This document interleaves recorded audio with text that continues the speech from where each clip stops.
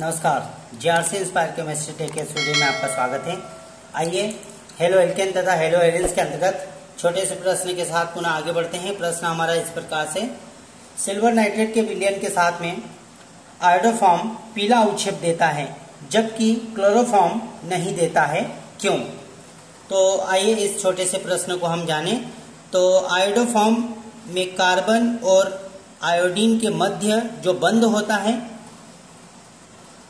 वह क्लोरोफॉर्म के कार्बन एवं क्लोरीन के मध्य बंध की तुलना में कमज़ोर होता है।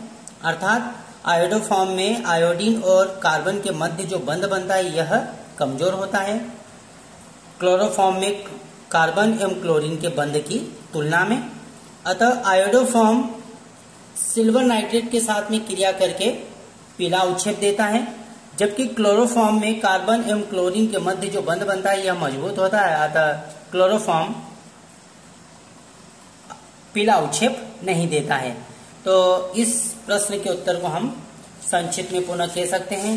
आयोडोफॉर्म में कार्बन एवं आयोडीन के मध्य जो बंध बनता है, यह बंध क्लोरोफॉर्म के कार्बन एवं क्लोरीन के मध्य जो बंध बनता है की तुलना में कमज़ोर होता है, अर्थात आयोडोफॉर्म में कार्बन और आयोडीन के मध्य बंध कमज़ोर होता है।